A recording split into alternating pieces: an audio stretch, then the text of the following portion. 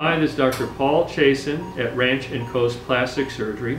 Um, I'm demonstrating the K-wire fixation technique that I developed over 20 years ago and still use it and think it's the best fixation technique for endoscopic brow lifts. I give lectures on the K-wire fixation technique all the time and then it's always like, well do you have a video of it? Because I never understand it. So here's the video. We take a K-wire. It's a 0 35 hundredths of an inch, okay? And we use a 16 gauge needle. So stuff everybody has. You see, and you'll have to zoom in, you'll see that the K-wire protrudes about five millimeters, okay?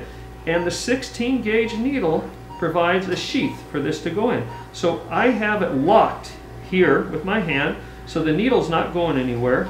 And now the 16 gauge needle is being used as a protective sleeve. The typical fixation point would be from lateral ala through pupil to hairline, okay? And that's not uncommon. Sometimes I do both. The danger zone is in the midline because the sagittal sinus lives right here. I did, I did, I looked up, there's a ton of studies that show calvarial thicknesses and the outer diploid average is about five millimeters uh, in there. So when you feel a give, you're still, the, you're going through the outer diploid. So again, I'm gonna just take this K-wire to the hub of the K-wire, take the loose cap off, and you automatically have five millimeters, okay? Now I'm gonna go right here, right on the other side of the midline. Now, you see, here's the trick where everybody gets a little confused. I'm pushing down with the needle, and with the needle and the K-wire, I drag up. And you see how that movement goes?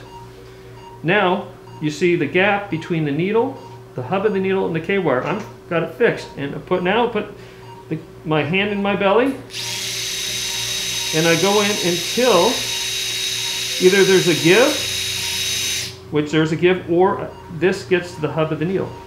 Then I know I'm done. And out this comes, okay? Again, we cut this off here, about that long. We use a tonsil suction. We just about five millimeters above the skin so we don't injure the skin.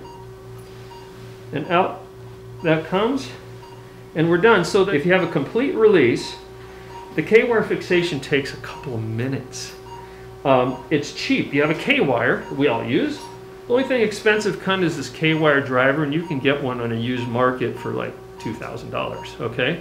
And most, most practices have a K-wire driver.